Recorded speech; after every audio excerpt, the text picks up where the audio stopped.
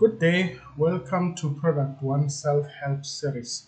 Today we are going to be looking at how to create a batch file that will help you to start and uh, to start your LM admin services in case your Creo is not working.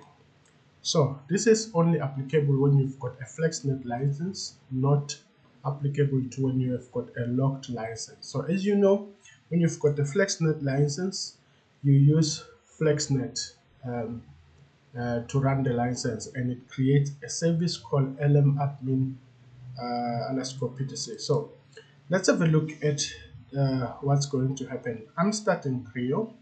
I'm expecting that the license is going to fail. The reason why the license is going to fail is because the service the service has stopped. And usually your services stop as a result of you switching off your PC or sometimes your PC going to sleep. So that is the common uh, situation that causes this. So you will see that our license has failed as I've mentioned. So now what we want is that we want to look for a service, right?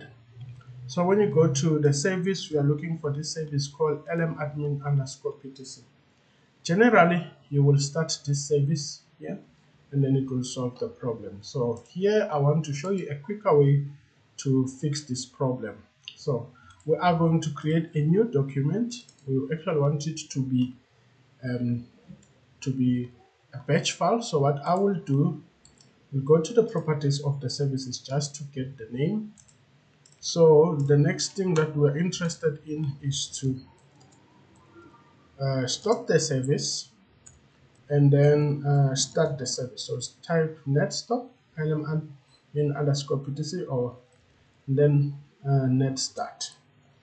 Okay, and then from there we can save that. So what we can do, we can rename this.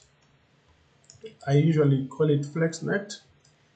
Okay, and then remove the txt and make it dot .bat because it's a batch file. Okay, then we're happy with that. Next thing we're interested in is to run this as an administrator.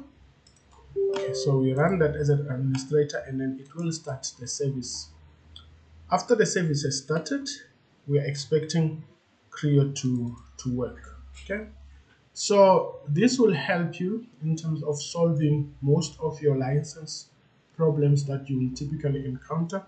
So I recommend that you please try this uh, before you log a support case with us.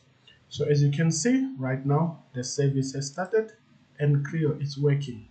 Thank you very much for watching.